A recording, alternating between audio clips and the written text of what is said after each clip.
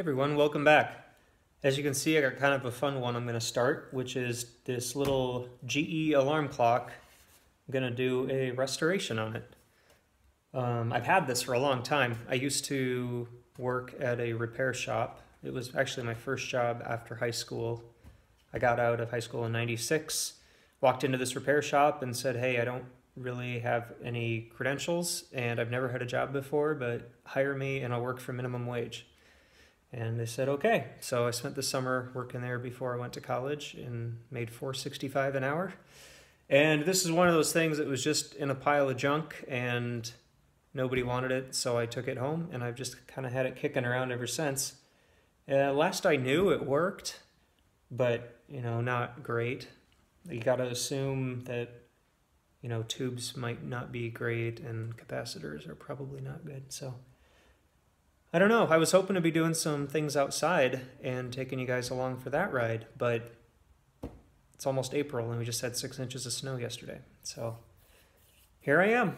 We're going to do a little radio project and then play outside later. So uh, I don't know how many parts this is going to be, but probably at least two.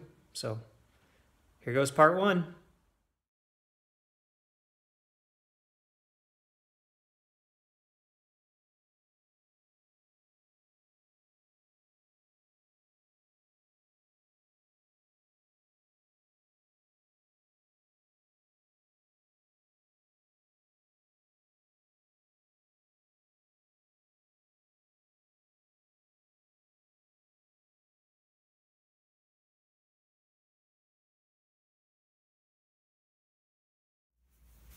Okay, well I got it apart. And here's some of the things I found. First off, it's real dirty. No surprise there. Uh, secondly, this was interesting. This piece of antenna wire, as long as I've had this, has been hanging out of the back. And I assumed it was an antenna. Imagine that. No, it was hooked in parallel across the speaker, which means I guess at some point somebody had the brilliant idea to take this tiny, dinky little underpowered amp and then hook a speaker in parallel and drop the impedance in half and overstress the amplifier. Presumably. Uh, so that's interesting. Hopefully it didn't hurt anything, but like I said, it, at one point this radio did work. I remember very specifically tuning into the Sunday morning polka show. But other than that, it's your typical uh, All-American 5 radio amplifier setup, plus this little mechanical clock deal. So I'm going to start. I've made a diagram to show what different color wires go where, where the screws go, putting things in bags, always a good idea. So I'm going to start unsoldering things and getting this cleaned up.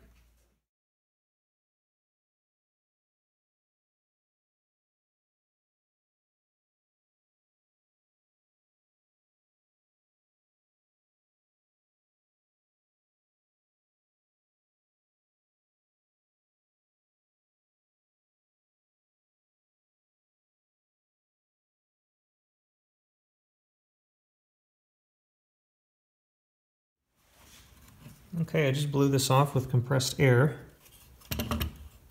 And I took off the antenna because that was kind of delicate. It's mounted in cardboard. And I guess it's doing the job. But I am somewhat tempted to uh,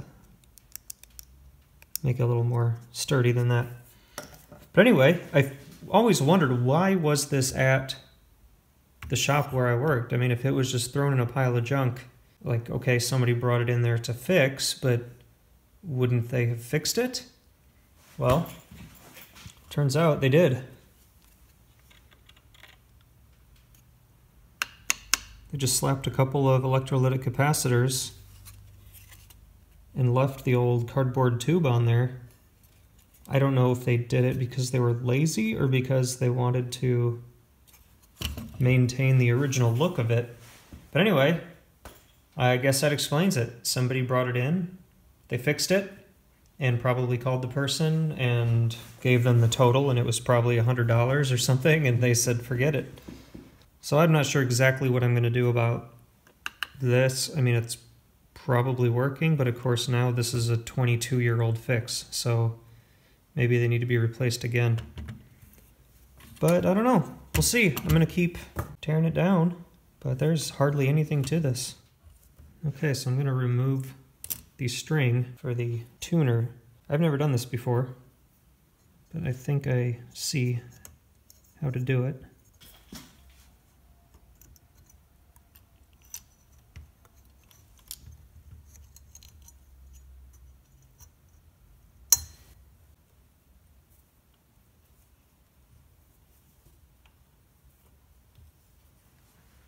Okay, so that was wrapped around three times. I don't know if that matters.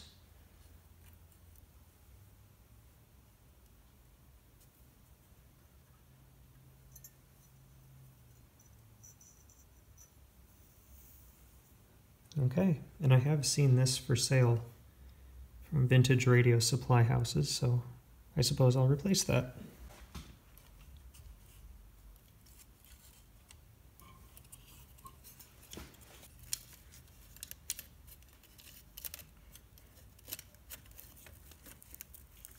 Okay, and that is free aside from the leads for the light bulb.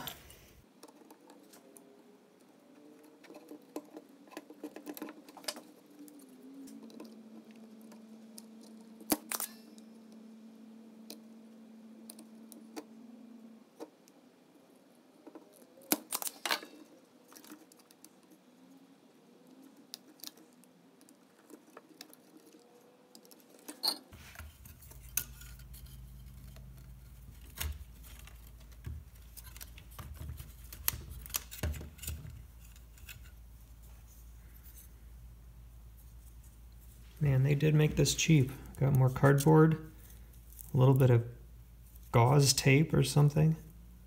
Now the goal I'm after right now is to get the board out of the metal chassis here. It looks like I'm almost there. Okay, I've got all the wires unhooked. I wrote everything down, labeled it, took lots of pictures so I can get it back together the same way.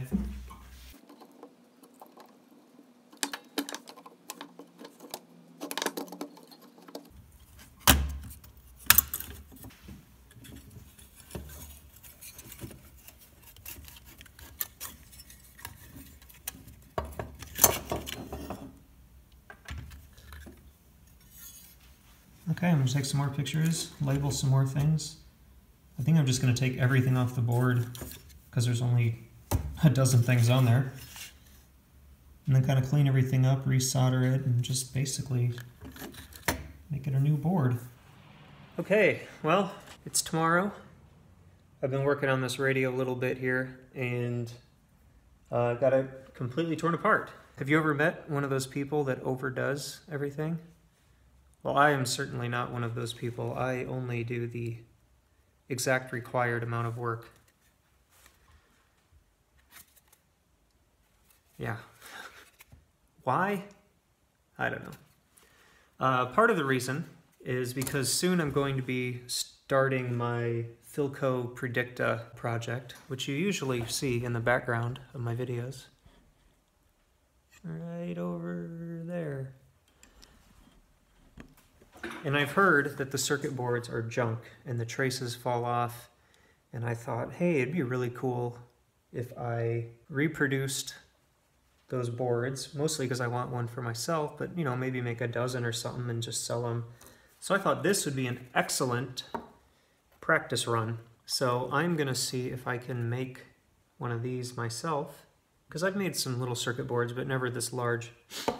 And I'm gonna see how that goes. Depending on prices, I might send out and have them made. But you know me, I've got to try everything completely DIY first. So I'll probably just try to make one because I have most of the materials I need here. But I just thought it'd be fun, mostly. Um, aside from that, I got all the capacitors out. Other than this big paper one, they are pretty close. The resistors are all fine. I think really I've got a working unit here, aside from that one capacitor. So this is going to be part two, but I've seen people where they gut these, put electrolytic capacitors inside of them, and close them back up so that when it's installed on the board, it looks original. Um, it's probably not that important for this because you can't really see inside of there. But just for future reference, I'd like to know how to do that. So this, again, seems like a good practice run. I'm gonna call that the end of video one. And I'm gonna play with that capacitor for the next video. And in the meantime, I'm gonna order up some parts and decide if I'm gonna make this circuit board or order some, the things I do for fun. Thanks for watching. See you next time.